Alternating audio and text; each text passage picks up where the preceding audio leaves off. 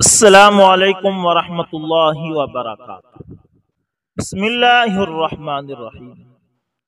दोस्तों, वीडियो की जानब बढ़ने से पहले एक गुजारिश है कि अगर आप कमज़ोर दिल वाले हैं तो ये वीडियो बिल्कुल भी ना देखें, क्योंकि ये वीडियो बहुत ही दर्दनाक है। दोस्तों, कलीम शाम को दफ्तर से घर पहुँचा तो जैसे ही आराम के लिए बिस्तर पर लेटा, उसका बड़ा बेटा कमरे में दाखिल हुआ। कलीम को सलाम करके बोला, बाबा, आपको दादी अम्मा बुला रही हैं। कलीम ये सुनते ही उठकर वालिदा के कमरे में चला गया। सलाम करके उनके पास ही कुर्सी पर बैठ गया। उसकी वालिदा बोली, बेटा, मुझे अंदाज़ा है कि तुम्हें दिन भर की थकन के बाद आराम की ज़रूरत है। मगर आज तुम्हारे अब्बा जी की कैफियत देखकर मुझे डर लग गया। कि खुदा न खास्ता, अब भी मुकम्मल चेकअप न कराया गया तो कुछ गलत ही ना हो जाए। कलीम बोला, अम्मा जी, गुजश्ता माह काफ़ी सारे टेस्ट करवाए थे। डॉक्टर को कुछ भी समझ नहीं आई। बगैर कोई संगीन मसला नहीं है। बहरहाल, मैं इसी हफ़्ते छुट्टी लेकर अब्बा जी को बड़े अस्पताल ले जाता हूँ। शायद किसी बीमारी की तशखीस मुमकिन हो। कलीम ने अगले रोज तीन दिन की छुट्टी ली और वालिद साहब को बड़े हस्पताल ले गया। वहाँ नए सरे से इलाज शुरू किया गया। पहले मरहले में काफ़ी सारे टेस्टिस का कहा गया। दो दिन टेस्टिस में लग गए। तमाम रिपोर्ट्स आने के बाद सीनियर डॉक्टर ने रिपोर्ट्स चेक की। तो उसे भी हैरत का सख्त झटका लगा। मरीज़ की कैफियत से मुतालिक कोई भी अलामत रिपोर्ट्स में कहीं जैर न हुई। डॉक्टर ने कलीम से कहा, मरीज़ की उम्र के लिहाज से ब्लड प्रेशर, शुगर वगैरह तकरीबन मामूल के मुताबिक हैं। दिल और दीगर आजाए रईसा का किसी भी किस्म का कोई पचीदा मसला नहीं है। बगैर तमाम रिपोर्ट्स मरीज़ की बेहतर सेहत की गुमाज हैं। जो कैफियत आपने बताई है, मुझे उसकी एक ही वजह समझ आती है। मैं अपने एक दोस्त डॉक्टर से इस हवाले से ज़रूरी मुशावरत करके अपनी हतमी राय दो तीन दिन तक दूँगा। आप कॉल करके जाती तौर पर मेरे साथ रबता कर सकते हैं। वक्ती आराम के लिए दवा लिख दी है, जब तक किसी भी बीमारी की तशखीस नहीं हो जाती, इसे जारी रखें।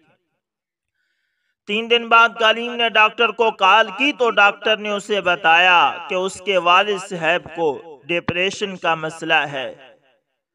उसकी वजह जानने तक मुकम्मल इलाज मुमकिन नहीं, यानी डिप्रेशन की वजह जानने के बाद ही इलाज होगा। इसके लिए ज़रूरी है कि किसी अच्छे महर नफ्सियात को चेकअप कराया जाए। कलीम के इस्तफसार पर डॉक्टर ने अपने महर नफ्सियात डॉक्टर के बारे में मालूम फराम की और जल्द अज जल्द चेकअप कराने की ताकीद की। कलीम ने अगले रोज मेरे नफ्सियात से मुलाकात के लिए कॉल की तो उसे कहा गया कि पहले अकेले खुद ही मिलने आए। वह मुकर्रा वक्त पर क्लिनिक पहुँचा। डॉक्टर से रस्मी सलाम दुआ के बाद गुफ्तगु का सिलसिला शुरू हुआ। तो कलीम ने अपने वालिद साहब की मुकम्मल कैफियत बताई। डॉक्टर के इस्तफसार पर उसने तफसीलात बताई। कि हमने बचपन से ही वालिद साहब की कैफियत इस तरह होते देखी है। इसका दुरानिया कम होता था। लंबे वक्फे के बाद ऐसी कैफियत होती थी। वक़्त गुजरने के साथ दुरानिया बढ़ता गया और दरमियानी वक्फा कम होता चला गया। जब तक मुलाजमत करते रहे, सूरत हाल किसी हद तक तशवीशनाक नहीं थी। रिटायरमेंट के बाद जो जो वक्त गुजरा, सूरत हाल ज़्यादा परेशान कन होती चली गई। अब हर दूसरे तीसरे दिन दो दो घंटे बिल्कुल बेसुध बिस्तर पर पड़े रहते हैं। तकलीफ़ की शिद्दत की वजह से आंसुओं का सैलाब उमड़ आता है। डॉक्टर ने पूछा, आपके इल्म में कोई ऐसा वाकया है जिसने आपके वालिद साहब को दुखी किया हो? इस पर कलीम ने बताया, हमारे इल्म में ऐसा कुछ नहीं है। दरअसल हमारे वालिद साहब बचपन में ही अपने आबाई गाँव से शहर आ गए थे। शादी के बाद यही शहर में बस गए। किसी खुशी गमी के मौके पर गाँव जाना भी हो तो अक्सर अकेले ही जाते हैं और हाजिरी लगवा कर वापस आ जाते हैं। हम बहन भाई भी एक दो बार ही इनके साथ गाँव गए। जब वो अपनी वालिदा की कब्र पर गए थे, रवैये से मुतालिक डॉक्टर के सवाल पर कलीम बोला, अब्बा जी बहुत ही कम गो हैं, धीमे लहजे में बात करते हैं, ज़्यादा सोशल नहीं है दो चार दोस्त हैं, रश और शोर वाली जगहों और महाफिल में नहीं जाते। डॉक्टर ने तमाम अहम नुकात अपने पास नोट कर लिए और अगली नशिश में मरीज़ को भी साथ लाने का कहा। कलीम घर आया तो वालिदा को मिनोआन तमाम तफसीलात बताई। उनसे कहा कि अगर इस हवाले से आपके इल्म में कुछ है तो बता दें, ताकि डॉक्टर के में लाया जा सके। इस पर उसकी वालिदा बोली, मुझे आज तक इस बात की समझ नहीं आई। न आपके अब्बा जी ने मेरे पूछने पर कभी बताया कि उनके वालिद साहब की कब्र कहाँ है? वो कभी उनके कब्र पर क्यों नहीं गए? वो अपनी माँ का तस्करा भी बहुत कम करते हैं। याद करें तो बस यही कहते हैं कि मेरी माँ बहुत अजीम खातून थी। जन्नत में उनका बहुत पुरसकून घर होगा। ये कहते हुए उनकी आँखों में नमी उतर आती है।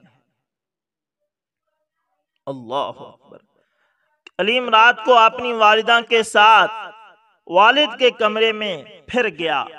तो वालिद की तबीयत बेहतर देखकर इधर उधर की बातें शुरू कर दी। गपशप के दौरान उन्हें अगले दिन महर नफ्सियात के पास लेकर जाने का बताया। मेरे नफ्सियात का नाम सुनते ही उसके वालिद के चेहरे पर यकदम शदीद नागवारी के आसार नमोदार हुए। वो उठकर बैठ गए। उसकी तरफ़ ऐसे देखा जैसे उसकी बात सुनकर खफा हो गए हों। सरहाने के साथ टेक लगाकर बोले, क्या तुझे मैं पागल लगता हूँ? डॉक्टर की तजवीज करदा दवा ले रहा हूँ। मजीद तजर्बे न करो। अब मुझे मेरे हाल पर छोड़ दो। अगर आप लोगों पर बोझ हूँ तो किसी ओल्ड हाउस में छोड़ आओ। कलीम कुर्सी से वालिद के बेड पर जा बैठा। कमाल, मोहब्बत और न्याजमंदी से वालिद के दोनों हाथ अपने हाथों में लेकर चूमे और अपने चेहरे पर रखकर बोला, अब्बा जी, आप तो हमें अपनी जान से बढ़कर अज़ीज़ हैं। आपने ऐसा सोचा भी क्यों? हम तो सिर्फ़ आपकी ज़िंदगी का सुकून चाहते हैं। अगर आप कहीं नहीं जाना चाहते तो हम कोई ज़बरदस्ती नहीं करेंगे। आपकी खुशी में ही हमारी खुशी है। डॉक्टर ने कलीम को इसी रद्द अमल का बताया था। इसलिए वक्ती तौर पर इस मामले में बजहर चुप हो गया। वालिदा को भी कह दिया कि गैर महसूस अंदाज में कोशिश जारी रखें। दो हफ्तों के बाद उसके वालिद ने मेरे नफ्सियात के पास जाने के लिए नीम रजामंदी जहर की। तो वो मजीद वक़्त ज़ाया किए बगैर उन्हें क्लिनिक ले गया। डॉक्टर ने पहले दिन मरीज़ के साथ मामूल की बातचीत की कोशिश की। उसे में खातिर ख्वाह कामयाबी हासिल नहीं हुई। डॉक्टर को इसी की उम्मीद थी, लिहाजा उसने कलीम को एक हफ़्ता बाद फिर अगले सेशन के लिए आने का कहा। यह भी बता दिया कि बेहतर नतज के लिए दो तीन माह या इससे भी ज़्यादा वक्त लग सकता है। इसका इहिसार मरीज़ के ताउन की सतह और मसले की गहराई पर है।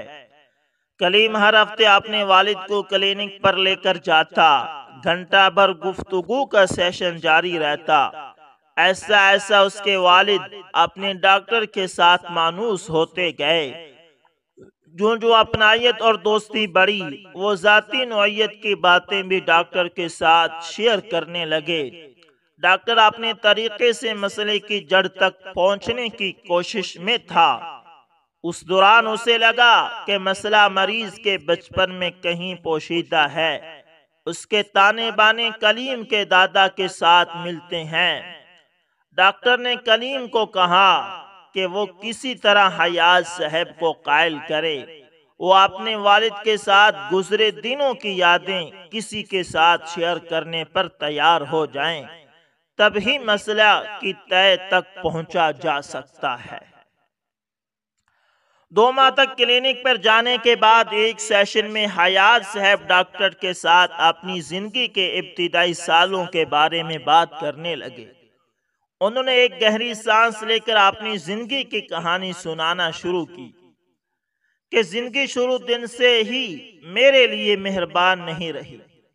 मेरे वालदेन की शादी उनकी दादी की ख्वाहिश पर तय हुई थी।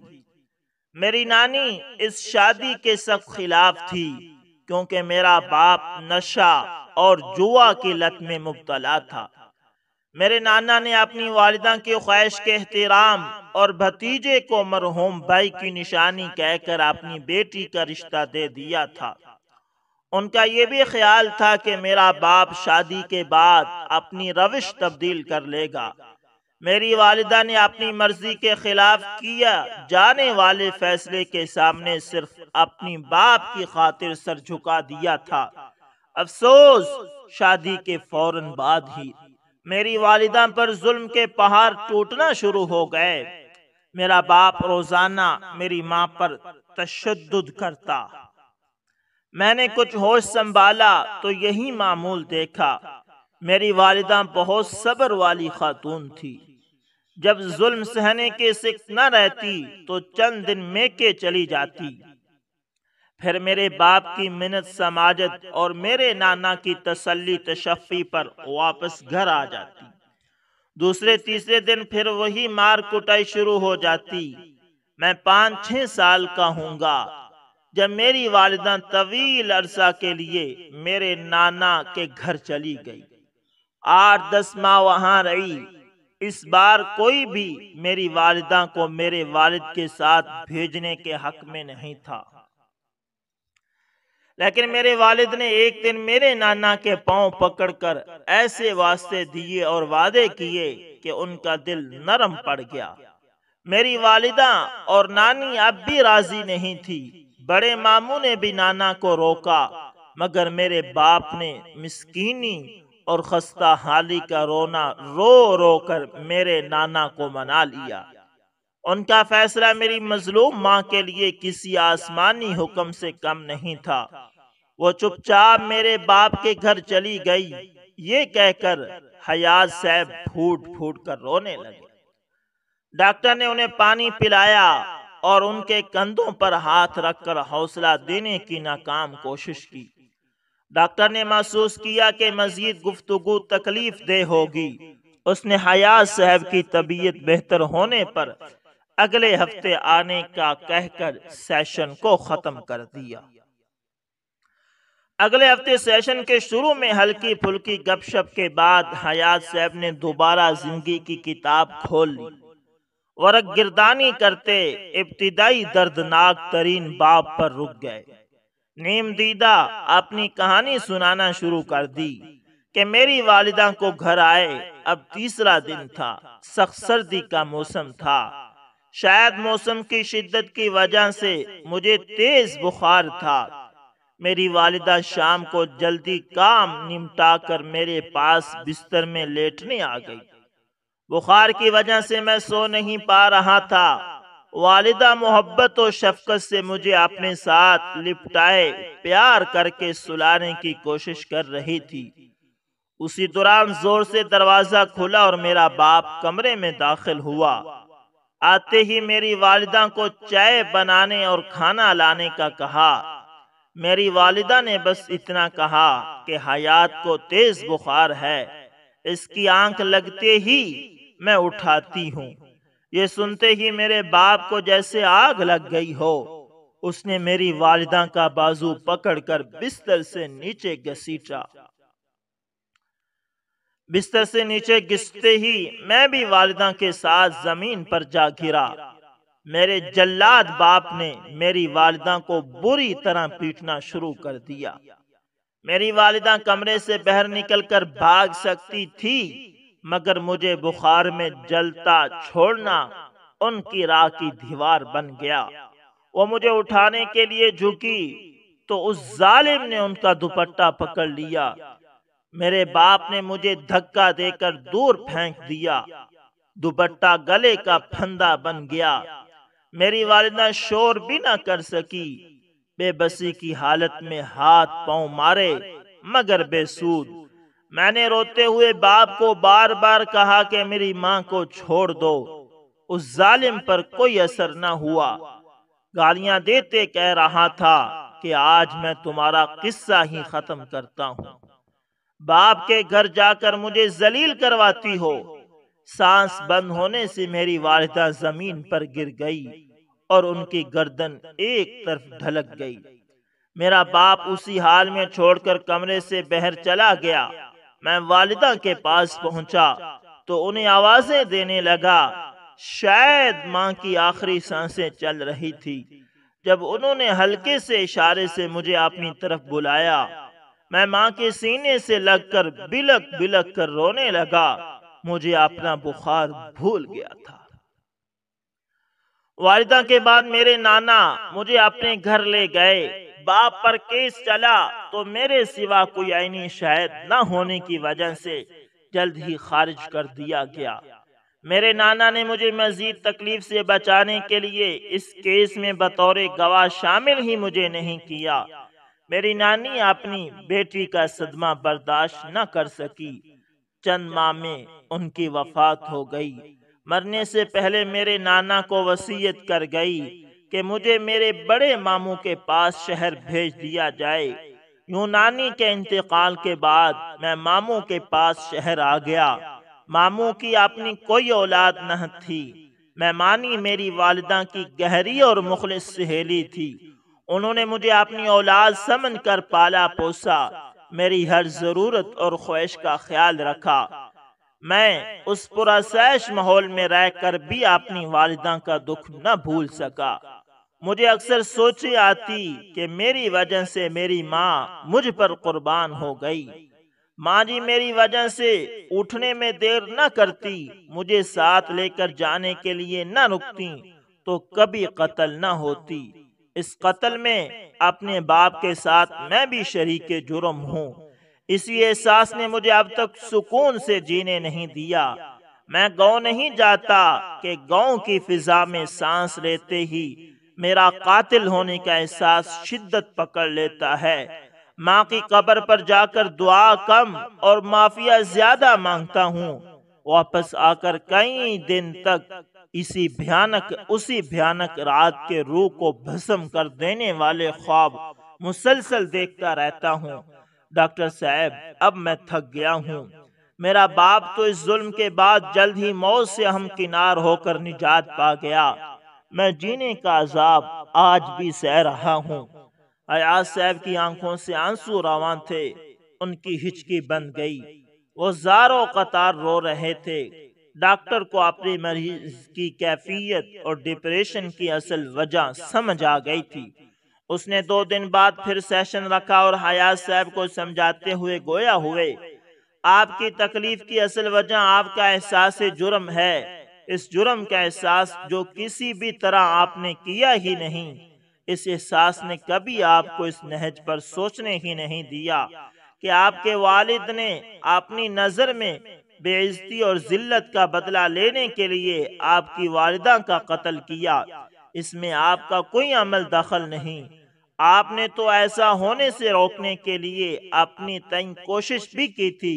अगर मुनसिफाना अंदाज से देखा जाए तो इस कत्ल में आपके नाना और उनकी वालिदा पर फर्द जुर्म ऐद की जाती कि उन्होंने आपके बाप की बुरी आदात के बावजूद अपने रिश्ते निभाने के लिए सरासर जुल्म पर मबनी फैसला किया।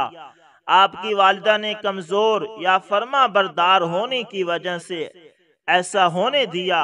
अगर कोई मज़बूत सहारा और जेरक मुशीर मिल जाता तो वो कभी इस चक्की में पिसकर जान से हाथ न धो बैठती।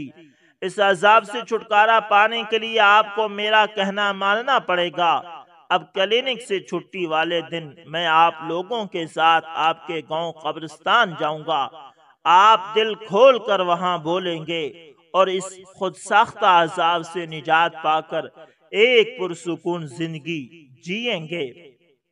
याद रखें, अगर आप ऐसा नहीं करेंगे तो ये अजाब ना जाने मजीद कितनी नस्लों को खा जाएगा। ठीक चार दिन बाद हयात साहब कलीम और डॉक्टर गाँव के कब्रिस्तान पहुँचे। कलीम और डॉक्टर गाड़ी के पास रुक गए। हयात साहब पहले अपनी माँ की कब्र पर रुके। फातिहा पढ़ी और माँ की कब्र से लिपट कर रोते हुए कहने लगे, माँ जी, आप इस बात की गवाह हैं कि मैंने अपने जल्लाद बाप को आप पर जुल्म से रोका था। उसके जाने के बाद आपके सीने से लिपट कर आपकी ज़िंदगी की दुआएँ मांगी थी। आपकी जुदाई में कोई लम्हा आपकी याद से खाली नहीं गुजरा। अगर किसी भी हवाले से मैं आपका मुजरिम हूँ तो मेरा आजाब कभी खत्म ना हो। माँ जी, आपके दुख और मोहब्बत में मैंने आज तक आपके कातिल से सुलह नहीं की। हयात साहब को ऐसा लगा जैसे उनकी माँ जी ने उनका सर अपनी गोद में ले लिया हो, उनके बालों में अपनी उंगलियों से कंगी कर रही हो और बार बार माथा चूम कर कह रही हो, मेरा राज दुलार, अल्लाह की अमान में रहे। ज़िंदगी की सारी खुशियाँ मेरे जिगर के टुकड़े की राह देखें। तू सदा सलामत रहे। मैं अपने हयात से राज़ी और खुश हूँ। मेरे हयात की हयाती हो। आमीन, सुम्मा आमीन। हयात साहब माँ की कब्र का बोसा लेकर उठे। मुस्करा कर माँ जी को सलाम किया और ज़िंदगी में पहली बार बाप की कब्र पर जाकर खड़े हुए। ज़िंदगी की भयानक तरीन रात का सारा मंजर उनकी निगाहों में घूम गया। तकलीफ़ की वजह से ज़मीन पर उकड़ों बैठ गए। आंग से बरसते सावन ने ज़मीन गीली कर दी। चुपचाप रोते रहे। उसी कैफियत में निगाहें बाप की कब्र के सरहाने डाली और बेसाख्ता मुँह से निकला। किसी की बदबख्ती और अजाब की इससे बढ़कर और क्या सूरत हो सकती है कि वो मरकर भी अपनी औलाद की दुआ में कभी शामिल ना हो। काश मैं अपनी माँ जी के कातिल का बेटा ना होता, काश। दोस्तों, बस इतना कहूँगा कि किसी पर जुल्म ना करें। उम्मीद करता हूँ वीडियो अच्छी लगी होगी। पसंद आए तो लाइक शेयर कमेंट लाजमी करें। और अगर आप हमारे चैनल पर नए हैं और इस वीडियो से अगर आपने कुछ सीखा है तो लाजमी कमेंट में लिखें और चैनल को सब्सक्राइब करें। उम्मीद करता हूँ वीडियो अच्छी लगी होगी। पसंद आए तो लाइक शेयर कमेंट लाजमी करें। मिलते हैं किसी नेक्स्ट अच्छी सी वीडियो के अंदर। तब तक के लिए अल्लाह हाफि